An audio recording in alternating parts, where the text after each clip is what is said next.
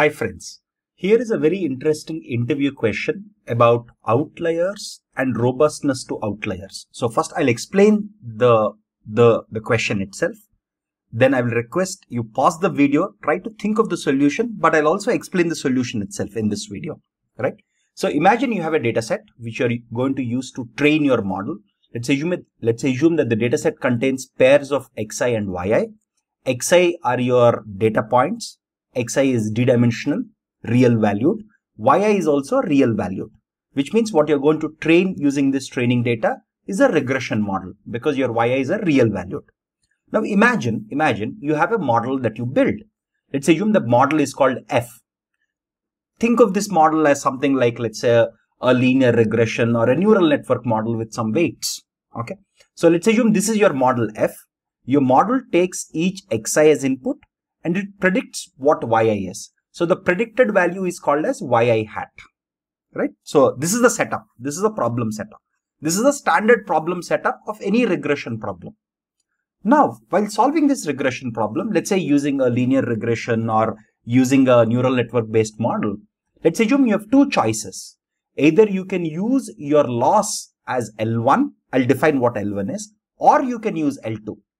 Now L1 is defined as summation over all the i's, the absolute value of the difference between yi, which is the actual value, and f of xi, which is the predicted value predicted by your model f.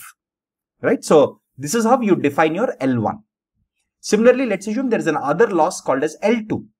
Okay, this L2 is summation over all i, all of your training points basically, yi minus f of xi whole squared.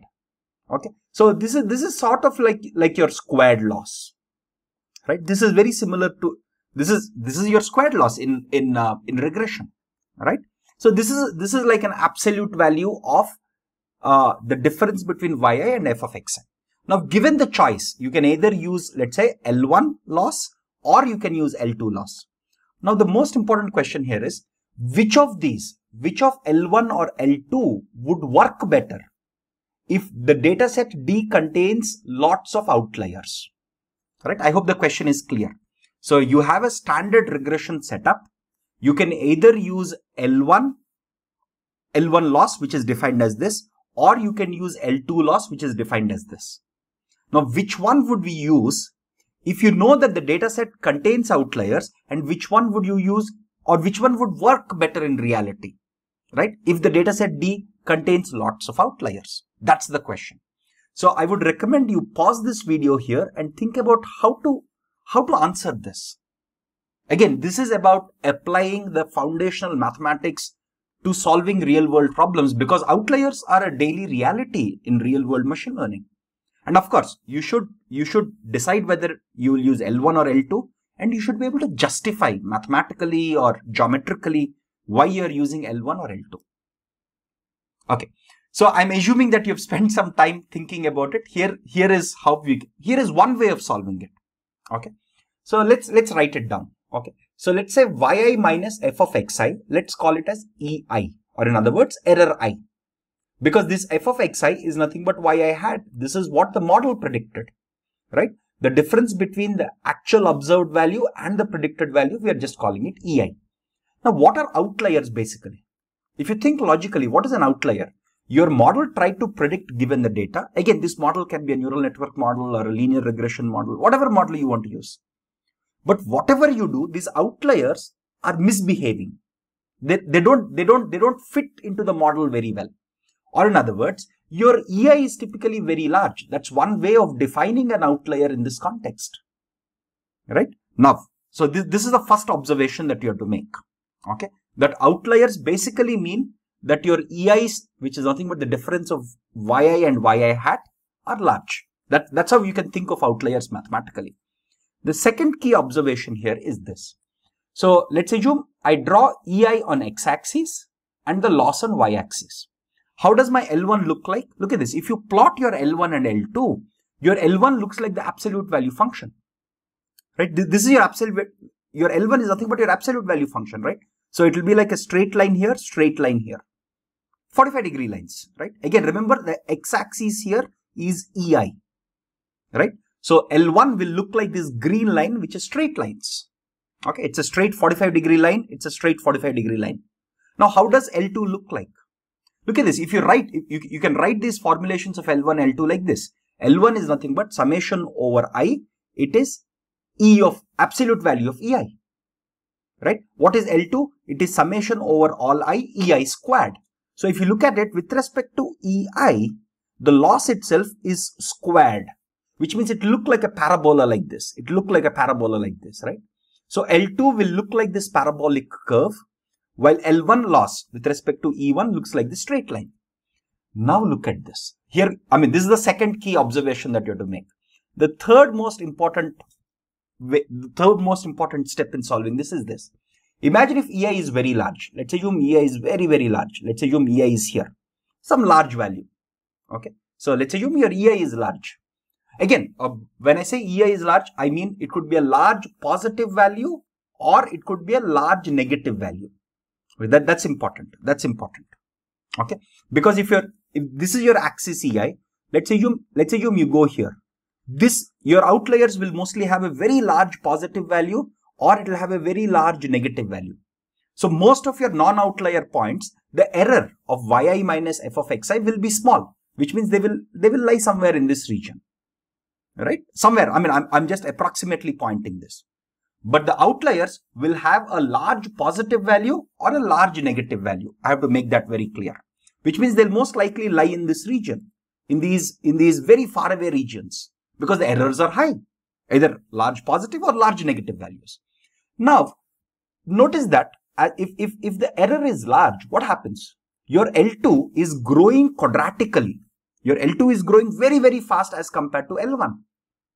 Look at this. Look at this point itself. Look at this point. At this point, your L1 is smaller, significantly smaller than your L2.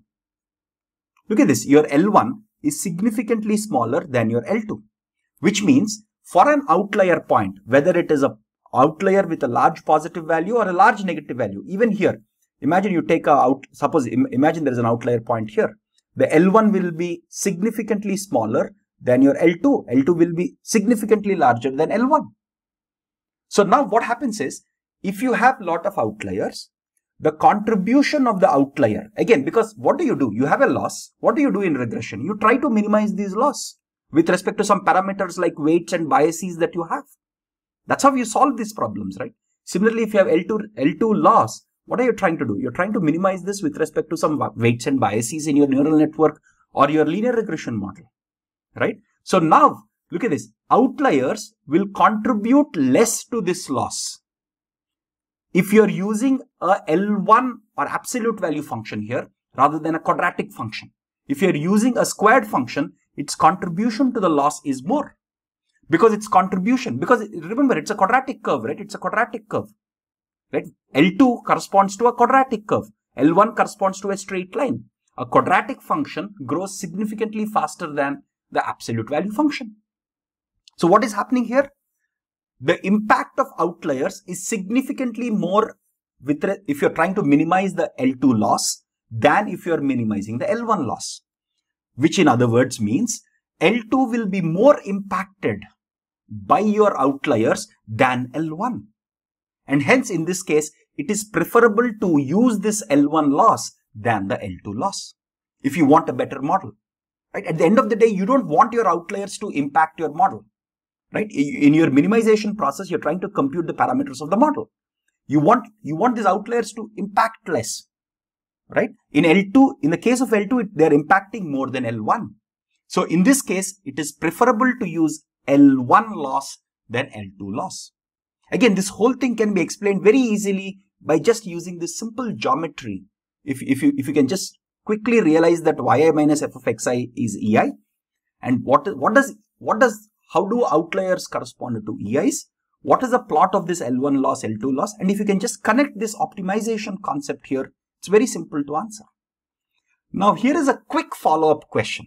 Okay, those of you who are interested. Okay, so to this to the same setup. Okay, to the same setup. In a lot of interviews, the interviewer typically starts with a problem and extends the problem in multiple directions. Right. A quick follow-up question for this problem is which of the which of the following which of l1 or l2 will result in a more sparsity in weights If you, if let's assume your model F is let's say a neural network model which has a bunch of weights, right? And you're trying to minimize these weights. So let's assume we decide, let's assume you have a bunch of weights in your neural network model, right? Whether you, you can either use L1 loss or L2 loss, right? L2 loss. Of course, there will also be biases here. You can either minimize L1 loss or L2 loss.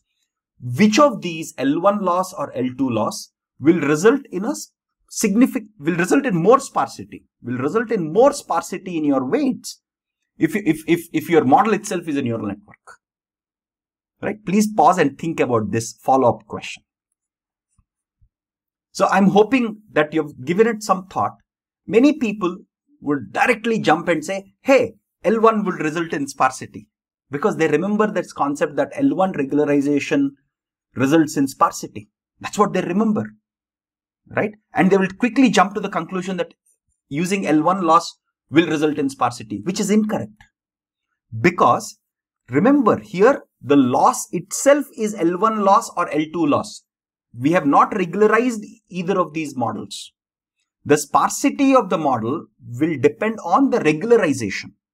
Here, see, imagine to this, to this, if you add some lambda multiplied by some regularization, if you add L1 regularization here, imagine if you add L1 regularization here, then you would get sparsity.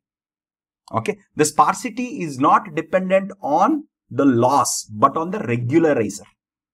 Okay. In, in, in this context, in the definition of the problem, we didn't say anything about regularization we only talked about L1 loss versus L2 loss. Right? And what are we computing? This is L1 on the residuals. These, again, by the way, these EIs are also sometimes referred to as residuals or errors. Right? So this is not a L1 regularization on the weights or biases. This is L1 regularization on the residuals or errors. So neither of these models is guaranteed to give you any sparsity because sparsity depends on regularizing the weights and biases and not the loss function itself. That's an important catch that you should get here. Okay, I hope I hope uh, these two questions gave you some idea on how to think about translating the mathematics, translating the geometric intuition that you have built to solving and attacking real world problems like how do you make your model more robust to outliers.